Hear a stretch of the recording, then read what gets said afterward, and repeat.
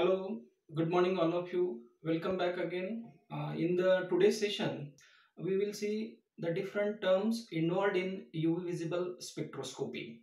You know that UV visible spectroscopy it is an oldest physical method. It is useful for qualitative and quantitative analysis. UV visible spectroscopy it is mainly concerned with ultraviolet region that is starting from 200 to 400 nanometer and visible region starting from 400 to 800 nanometer. Actually, the spectroscopy uh, it is the branch of the science and it deals with the study of the electromagnetic radiation, right? Uh, electromagnetic radiations with what matter or the substances it can be studied. Now we will see the different terms involved in the U visible spectroscopy. So first terminology is chromophore right? Number one is chromophore. Chromophore.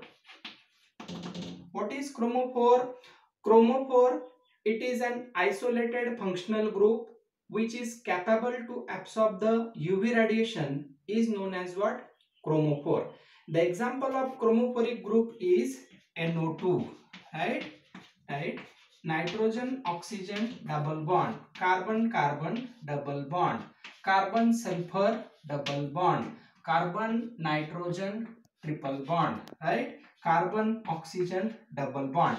So these all are the examples of what your chromophoric group.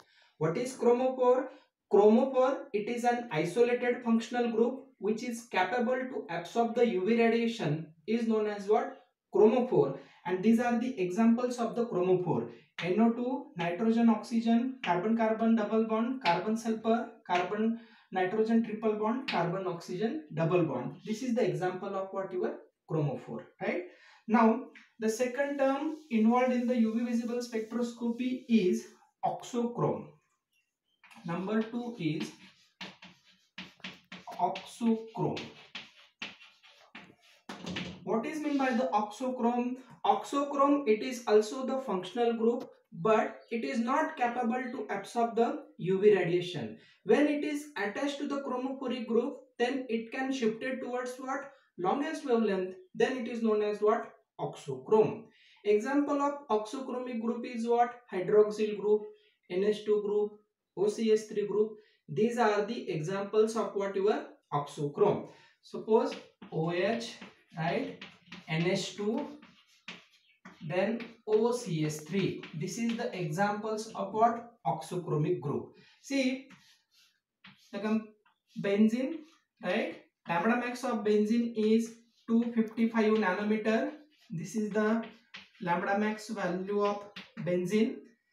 In benzene if i attach the nh2 group right? Means auxochromic group then its lambda max value shifted towards longest wavelength that is 280 nanometer. Then if I attach the OH auxochromic group to the benzene right its lambda max value shifted towards longest wavelength that is 270 nanometer. Another one is what? Anisole. This is the structure of anisole. And its lambda max value is 269 nanometer right?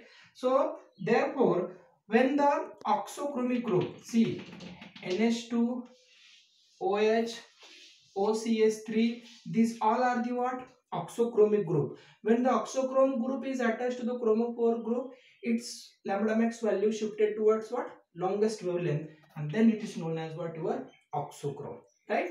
So you remember this auxochrome now the third term involved in the UV visible spectroscopy that is bathochromic shift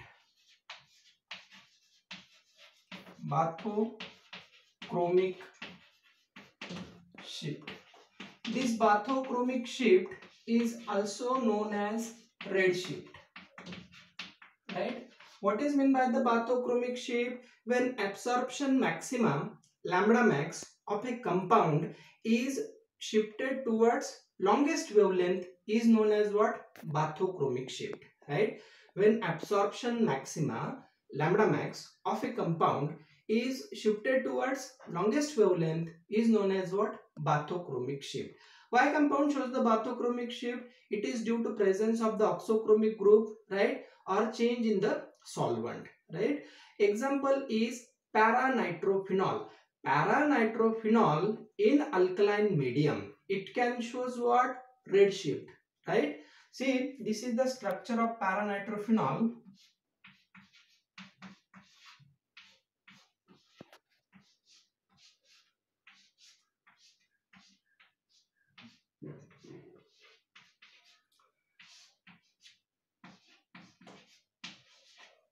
in alkaline medium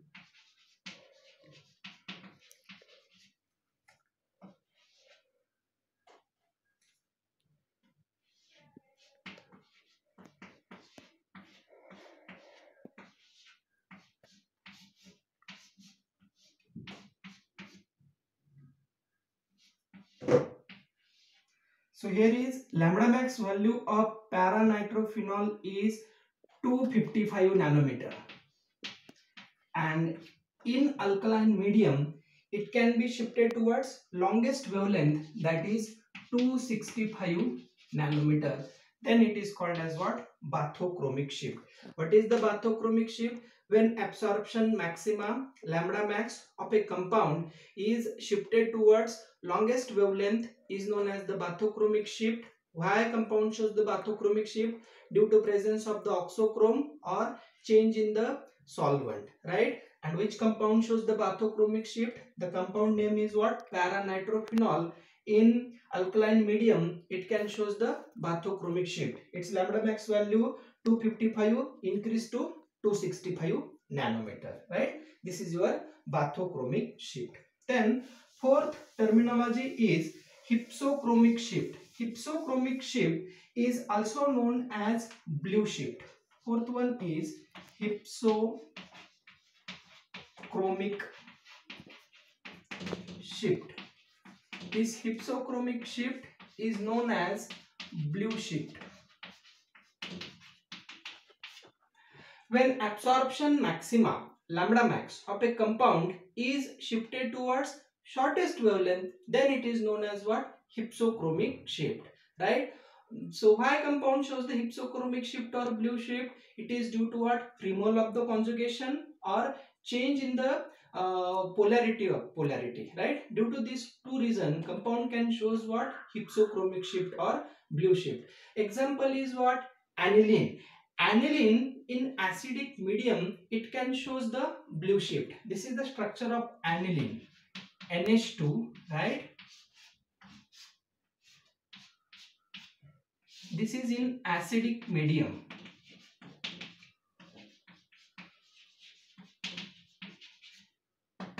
This is shifted here this is here this is here. So its lambda max value is 280 nanometer.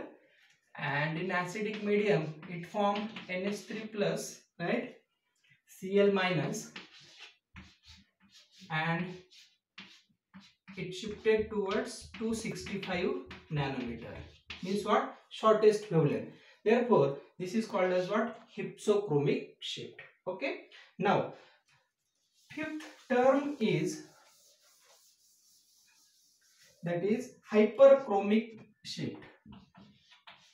Hyperchromic shift Hyperchromic shift means what? When absorption intensity, that is what? Epsilon of a compound is increased, then it is known as what? Hyperchromic shift. Hyperchromic shift means what? When the absorption intensity epsilon of a compound is increased, then it is known as what? Hyperchromic shift. The example is what? This is the structure of what your pyridine, right? Pyridine epsilon value is 2750 the another example is what your 2 methyl pyridine means what auxochromic group is introduced. That's why it can be shifted towards what? 3000 sorry uh, 3560 epsilon value right? So why it goes on increase? Due to addition of what? Auxochromic group. That's why it is known as what? Hyperchromic shift. Hyperchromic shift means what? When absorption intensity epsilon of a compound is increased then it is known as what? Hyperchromic shift right? So example is pyridine and 2 methyl pyridine okay? And sixth number term is hypochromic shift hypochromic shift what is the hypochromic shift when absorption intensity epsilon of a compound is decreased then it is known as what? Hypochromic shift right? Which compound shows the hypochromic shift that is what your naphthalene. This is the structure of what your naphthalene right? And its epsilon value is 19000 is the epsilon value. And another example is 2 methyl naphthalene right so cs3 its epsilon value decrease that is 10250 why? Because if the group is introduced right then geometry would, will be changed. That's why its epsilon value can be decreased. This is called as what? Hyperchromic shift. Is that clear so i will again give the important key point to remember the bathochromic shift hypsochromic shift. Bathochromic shift or red shift means what? Lambda max value goes on what? Increasing right? Then absorption maxima. Lambda max of a compound goes on what increase or it is shifted towards longest wavelength. This is called as what your bathochromic shift. Second one is what? Hypsochromic shift. Hypsochromic shift means what? Absorption maxima of a compound is shifted towards what? Shortest wavelength. Then it is known as what? Hypsochromic shift. Then hyperchromic shift means what? Epsilon value increase. This is called as what? Hyperchromic shift.